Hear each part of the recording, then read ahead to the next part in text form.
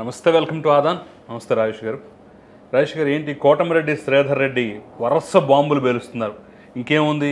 ఎక్కడ చూసినా సరే ఇంకా ఆయన రాజీనామా చేస్తాడు. టీడీపీలోకి రాబోతున్నాడు. ఆల్రెడీ టీడీపీ నేతలతో కూడా మాట్లాడేశాడని చెప్పేసి కూడా పెద్ద ఎత్తున వార్తా కథనం. అది కూడా వైసీపీ అనుకూల మీడియాలో రావటం. ఎలా చూడాలి? మామూలు షాక్ ఇచ్చేటటువంటి అవకాశం లేదనేది ఒక విశ్లేషణ. మీరేమంటారు అసలు? ఇప్పుడు ఇక్కడ షాక్ ఎవరు ఎవరికి ఇస్తున్నారనేది కూడా మనం ఒకసారి పరిశీలన చూసుకోవాలి.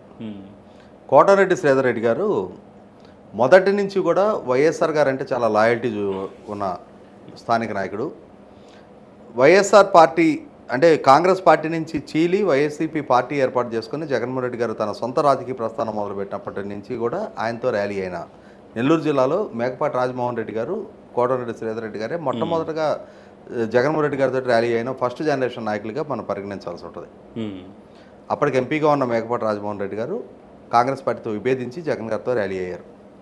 అయితే రెండు వేల పద్నాలుగులో అధికారం చేజిక్కిన చేజారిన శాసనసభలో జగన్మోహన్ రెడ్డి గారు ప్రతిపక్ష నాయకుడిగా ఉన్న సందర్భంలో జగన్మోహన్ రెడ్డి గారికి అనుకూలంగా ఆనాటి ప్రభుత్వం మీద సూటిగా ఘాటుగా విమర్శలు చేస్తా మంచి వక్తగా పేరు తెచ్చుకున్నారు కోటరెడ్డి సేదరెడ్డి గారు. చంద్రబాబు నాయుడు గారి ప్రభుత్వాన్ని చీల్చి చెండాడేవారు. రెండు వేల పంతొమ్మిదిలో అధికారంలోకి వచ్చిన తర్వాత నెల్లూరు జిల్లా నుంచి తప్పనిసరిగా ఆయనకు మంత్రి పదవి దక్కుద్దని ఆశించారు. అయినా మేకపాటి రాజమోహన్ రెడ్డి గారు సీనియారిటీని దృష్టిలో పెట్టుకొని వాళ్ళ కొడుకు గౌతమ్ రెడ్డి గారికి మొట్టమొదటిగా మంత్రి పదవి ఇచ్చారు. రెండు వేల ఇరవై రెండు ఏప్రిల్లో జరిగిన పునర్వ్యవస్థీకరణలో అయినా సరే తనకు మంత్రి పదవి వచ్చుద్దని ఆయన ఆశపడ్డారు. కానీ ఆయన ఆశలు ఆయన ఆలోచనలు ఒక రకంగా ఉన్నాయి. జగన్మోహన్ రెడ్డి గారి వ్యవహారం ఇంకో రకంగా ఉంది. జగన్మోహన్ రెడ్డి గారికి కోటరెడ్డి శ్రీధర్ రెడ్డి గారు ఒక విషయంలో నచ్చల. ఏంటి ఆ విషయం?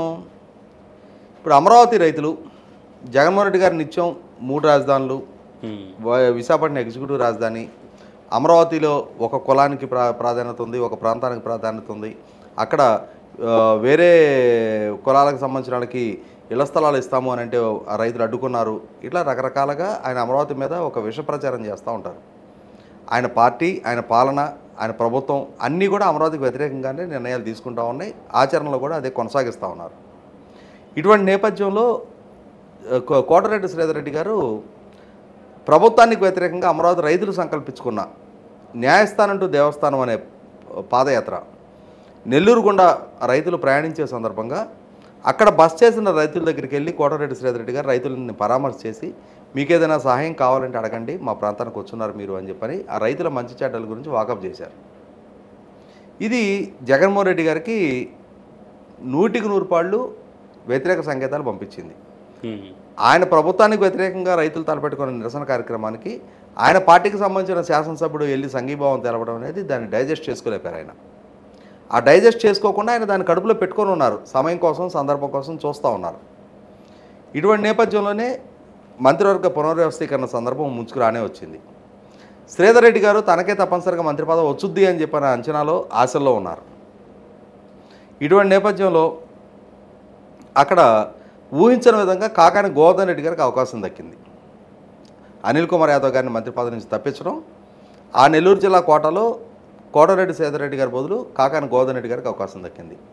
శ్రీధర్ రెడ్డి గారికి ఎందుకు దక్కింది అని చెప్పని పరిశీలించి చూసుకుంటే ఆయన జగన్మోహన్ రెడ్డి గారి దగ్గర ఆయన ఎట్లా మార్కులు స్కోర్ చేయగలిగారు? కోటారెడ్డి శ్రీధర్ రెడ్డి గారి కన్నా మొట్టమొదటిగా జగన్మోహన్ రెడ్డి గారితో ర్యాలీ అయిన శ్రీధర్ రెడ్డి గారిని కూడా పక్కకు పెట్టి కాకాని గోవర్ధన్ రెడ్డి గారికి ఎట్లా అవకాశం దక్కింది అని చెప్పని అందరూ ఆలోచించుకుంటున్న సందర్భంలో అక్కడ అర్థమైంది ఏంటి? కోటారెడ్డి శ్రీధర్ రెడ్డి గారు అమరావతి రైతులకు సంఘీభావం తెలిపారు. అదే కాకాని గోవర్ధన్ రెడ్డి గారు ఆయన నియోజకవర్గం గుండా యాత్ర సాగుతున్న సందర్భంగా ఆ రైతులని ఎంత హ్యూమిలేట్ చేయాలో అంత హ్యూమిలేట్ చేశారు గోవర్ధన్ రెడ్డి గారు. వాళ్ళు రైతులు అక్కడ రోడ్డు పక్కన ఉన్న పొలాల్లో అక్కడ స్థానికంగా ఉన్న రైతులతో మాట్లాడి రాత్రిపూట బస్ చేయడానికి కానీ వాళ్ళకి పగలు భోజనాలు వండుకోవటానికి తినడానికి కావాల్సిన ఆ వసతి ఏర్పాటు చేసుకోవడానికి కూడా కనీసం మాత్రంగా అక్కడ రైతుల నుంచి సహాయ నిరాకరణ చేయించి ముందు ఆమోదం తెలిపిన రైతులతో కూడా చివరి నిమిషంలో ఆమోదాన్ని క్యాన్సిల్ చేయించి కాకాని గౌతమ్ రెడ్డి గారు ఆ రైతుల్ని అంటే వాళ్ళకి ఆయన నియోజకవర్గ వ్యాప్తంగా నిలవ నీడ కూడా లేకుండా చేసే ప్రయత్నం చేశారనమాట వాళ్ళు కనీసం మహిళా రైతులు ఉన్నారు రాత్రిపూట వాళ్ళు బస్ చేయడానికి కానీ లేదు వాళ్ళు పగలు భోజనాలు వండుకోవడానికి కానీ కూడా అవకాశం కల్పించకుండా కాకాని గౌతమ్ రెడ్డి గారు జగన్మోహన్ రెడ్డి గారి కళ్ళల్లో ఆనందం చూశారు. అంటే అమరావతి రైతులకు సహాయ నిరాకరణ చేయటం వాళ్ళని వేధించడం అంటే జగన్మోహన్ రెడ్డి గారికి ఆనందకరమైన విషయం. వాళ్ళకి సంఘీభావం తెలపడం అంటే జగన్మోహన్ రెడ్డి గారికి నచ్చని విషయం. కోటరెడ్డి శ్రీధర్ రెడ్డి గారు సంఘీభావం తెలిపారు. కాకాని గౌతమ్ రెడ్డి గారు రైతులకు వ్యతిరేకంగా రైతులను అవమానపరిచే విధంగా ప్రవర్తించారు. దాంతో ఇంతకంటే వేరే ప్లాట్ఫామ్ అవసరంలా ఎవరిని రా- మంత్రిగా ఎంపిక చేసుకోవాలి అనేది ఇన్ని సంవత్సరాల రాయల్టీ కోటరెడ్డి శ్రీధర్ రెడ్డి గారితో పక్కకు పోయింది. జగన్మోహన్ రెడ్డి గారితో సేలైన ఇన్ని సంవత్సరాల పాటు ఆయనతో సేలైన ఇష్యూస్ అన్నీ పక్కకు పోయినాయి. కాకాని గౌతమ్ రెడ్డి గారి పేరు అకస్మాత్తుగా ముందుకు వచ్చేసింది మంత్రి పదవానికి దక్కింది. ఆ రోజు నుంచి కూడా కోటరెడ్డి శ్రీధర్ రెడ్డి గారు ప్రభుత్వం పట్ల అసమ్మతితో ఉన్నారు. ఆ రోజే దాన్ని బయటకు వ్యక్తపరిచారు. వ్యక్తపరిచిన తర్వాత మీడియాలో కళ్ళనీళ్ళు పెట్టుకున్నారు.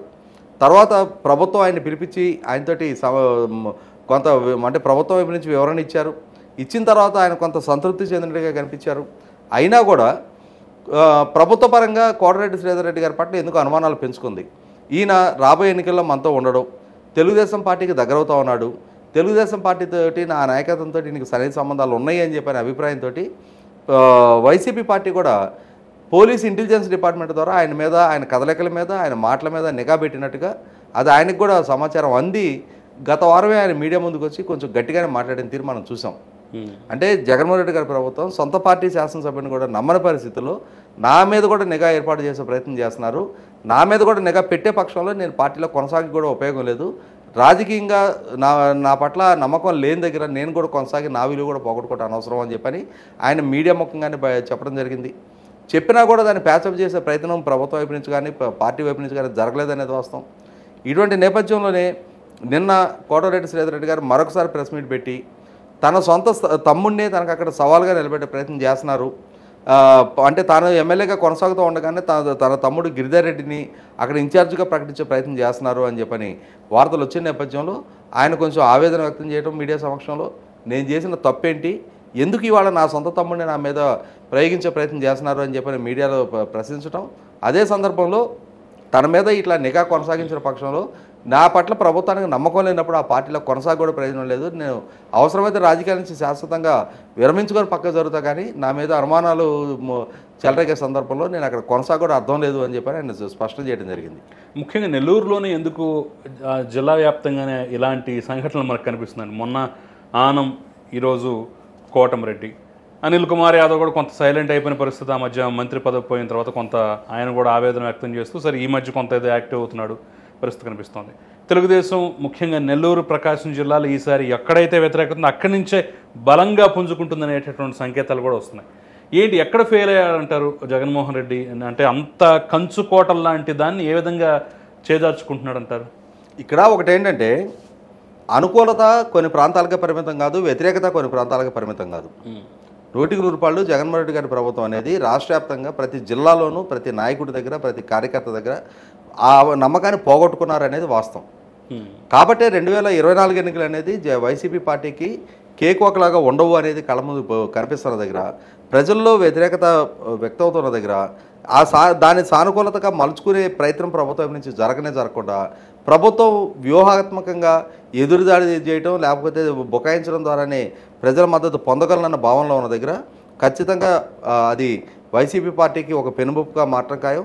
వైసీపీ పార్టీ ఇప్పటికైనా సరే రిలీజ్ అవ్వకుండా ఈ అదేవిధంగా తన సొంత పార్టీకి సంబంధించిన నాయకులను కూడా పాము తన పిల్లల్ని తానే తిన్నట్టుగా ఇవాళ తన నాయకులను కూడా తాను చేజాకు చేజార్చుకునే పరిస్థితి వాళ్ళ ఇంటిగ్రిటీ కూడా దెబ్బతినే పరిస్థితి. అదే సందర్భంలో వాళ్ళు కూడా ఏ నాయకుడిని అయితే మనం నమ్మి ఇన్ని రోజులు చేయలేమో ఆ నాయకుడికి మన మీద నమ్మకం లేనప్పుడు ఆ పార్టీలో కొనసాగ కూడా ఉపయోగం లేదు అని చెప్పి ఎన్నికల ముందు అంత సీనియర్ నాయకులు కూడా నిర్ణయం తీసుకుంటున్నారు అని అంటే ఖచ్చితంగా దాని ప్రభావం జిల్లాల మీద పడుతుంది. ఆ ఏ జిల్లాల్లో ఇవాళ పిల్లిమెడలో గంట కట్టడానికి సాహసించే విధంగా కోటరెడ్డి శ్రీధర్ రెడ్డి గారు లేకపోతే ఆనం రామనారాయణ రెడ్డి గారు ముందుకొచ్చి మాట్లాడి ఉండొచ్చాం కానీ ఖచ్చితంగా ప్రతి జిల్లాలో ప్రతి నాయకుడు కూడా ఇదే రకమైన ఫీలింగ్లో ఉన్నారు. ఇటువంటి నేపథ్యంలో ప్రభుత్వ పరంగా చాలా బ్యా- బ్యాలెన్స్డ్గా చాలా మ- ఏమంటాం దాన్ని? చాలా రెస్టైన్ మెయింటైన్ చేయాల్సిన దగ్గర ఆ ప్రయత్నం చేయకుండా ఇంకా ఇంకా ఎదురుదాడి చేయడం ద్వారా లేదా తనకు సంబంధించిన సోషల్ మీడియా ద్వారా దుష్ప్రచారాలు చేయడం ద్వారా ఆ నాయకుల వ్యక్తిత్వాన్ని హనం చేయగలము వాళ్ళని ప్రజల్లో పలసం చేయగలము అని చెప్పారు జగన్మోహన్ రెడ్డి గారు. ఊహించినా కూడా రేపు రోజున అది అంచనాలు తప్పడం ఉంది. కనీసం ఇప్పటికైనా సరే అంటే తన పరిపాలన జరుగుతున్న పొరపాట్లని రియలైజ్ అయ్యి దా దానికి తగ్గట్టుగా నిర్ణయాలు చేస్తే పర్వాలేదు కానీ తన పార్టీకి సంబంధించిన నాయకుల వ్యక్తిత్వాలే హరణం చేయడం అనేది ఇదే విధంగా కొనసాగినప్పుడు రేపు రోజున తన కాళ్ళ కింద భూమిని తనే త- ధ్వంసం చేస్తున్నట్టుగా మారతం ఖాయం. ఆలోచించుకోవాలి పాలకులుగా ఉన్నాడు.